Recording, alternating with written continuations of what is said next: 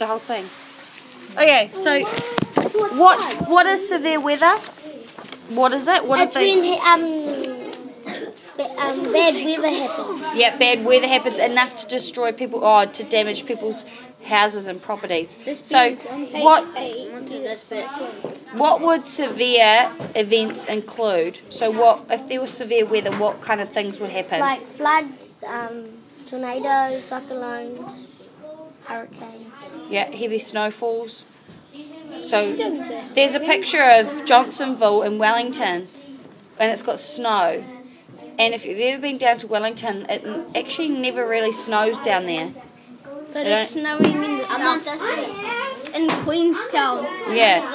Do you know what a drought is? We have often in Hawke's Bay have heaps of droughts. What do you think of drought? It's the opposite of rain. We have no rain, and all the hills go.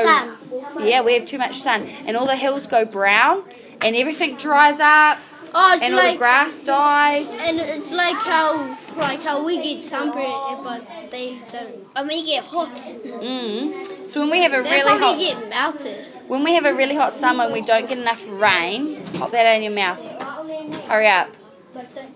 Um, then Hawke's Bay often gets droughts, and our, you know, the rivers that we have running, like the little dam that we have at the back of school. Well, that would dry up, and there wouldn't be much water left in there because with evaporation, all the heat takes up all the water. Yeah.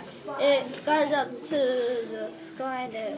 And how all the clouds are white, they can go grey.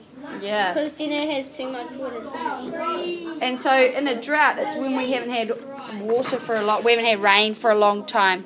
Miss Benge, Two this has a tornado from in the sky above Auckland in 2006, and that's when I was born. Oh wow! That's when I was born. 2006. And then see see the flooding that that person's cycling. We've just had floods in Wanganui, and that's what's happened. People have been evacuated. That means they were told to leave their houses to And get to to safe. ground. Yeah, and to get to a safe place, and they had to leave their houses behind, and their houses were filling up with water from the bottom. The, the water was just gushing And in. I saw on the news that On the news, there was a um, house that got flooded. Yeah, yeah. So with the rain, and I know it shows you a bridge. See that bridge there? Yes. Well, Look at in the parts water. near, you know, Palmerston, when you're driving to Palmy and you go through the gorge bit where it's kind of a bit windy and then the water's down there. Well, apparently the water was all the way up just about to where the road is, whereas usually it's a long way down. So that's how much rain they got in a short amount of time, and that's what causes floods. like It's- it's all the way like down there, but then when the rain look at the mountain. yeah, it's snowing. Miss Benge, there when the water's all the way down there, all the pressure can make it. Can we look at the pictures? See, there's the Look drought. at the mold. The, See, um, there's the, cow. the drought there. Hey. where the grass is not green and there's dirt, not mud. So the dirt, it's dust, it's dusty kind of dirt. What page I'm are just you on? looking at the pictures. On oh, look at all page those 12. Look at all those animals, Miss. Yeah, and the floods. This is 10. Because unless you get, unless that farmer gets them to high ground, there's not a lot you can do. So a, a lot of the time when there's um, when there's a severe weather warning like floods, I'll just go climb up in the tree. a farmer a farmer goes and takes his cattle or his sheep to and puts them on top of a hill. Oh, right. to keep them safe so that they don't get caught in the floods. But, what sometimes they don't cows? have time.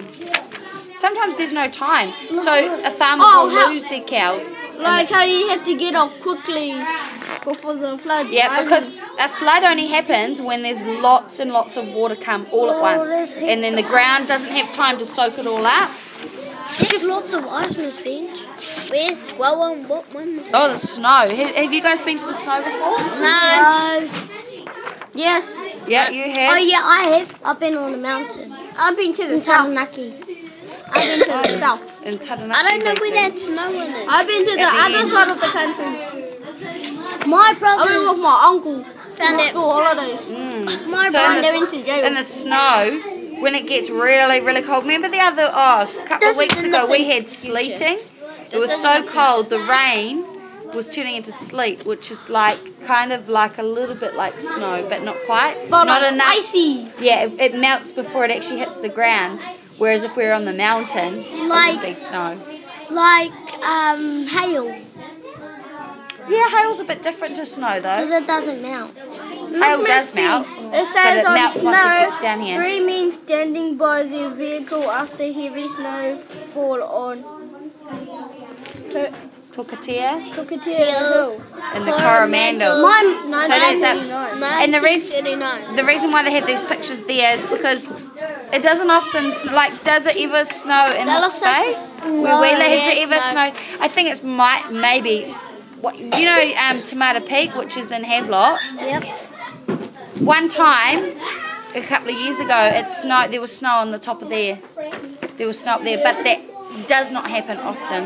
I must wonder, be. it's the area Look that's at got, it's snowy. Antarctica. Antarctica. That's Antarctica Miss down on there. Look at that. We're probably from the over there, eh, Miss Benge? That's us there, and that's Australia.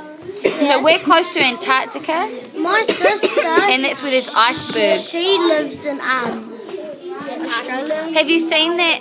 Um, it's a movie and it's got the huskies on it. Um, what's it Is called? it um B Below or something. below, eight below? Yeah.